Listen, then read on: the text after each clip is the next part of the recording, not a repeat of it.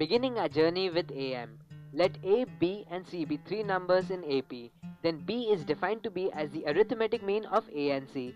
For n numbers, arithmetic mean is A1 plus A2 up till AN divided by n. The AP is 3, 4 and 5. 4 is the AM of 3 and 5. Let's confirm it by adding 3 and 5 and dividing it by 2.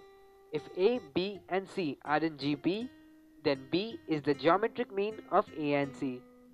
Because the ratio of two consecutive terms have to be equal, we can conclude that B is square root of AC.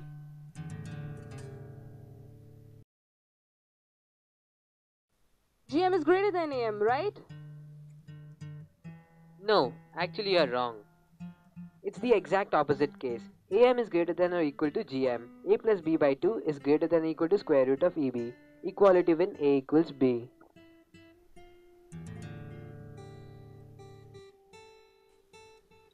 I don't believe you. Prove it.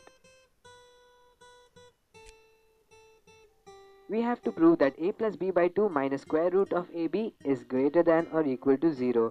Evaluating the left hand side, we see that a plus b by 2 minus square root of ab is equal to a plus b by 2 minus 2 square root of ab. Now we form a perfect square divided by 2. Now perfect squares are always positive, so this thing is positive. Let us consider a semicircle and draw a perpendicular from any point on the arc to the diameter. Complete the triangle and labelings as shown. Now by using similarity, segment AM is square root of AB. Now the diameter is A plus B, so the radius will be A plus B by 2. Radius is greater than equal to any other perpendicular. So A plus B by 2 is greater than or equal to square root of AB.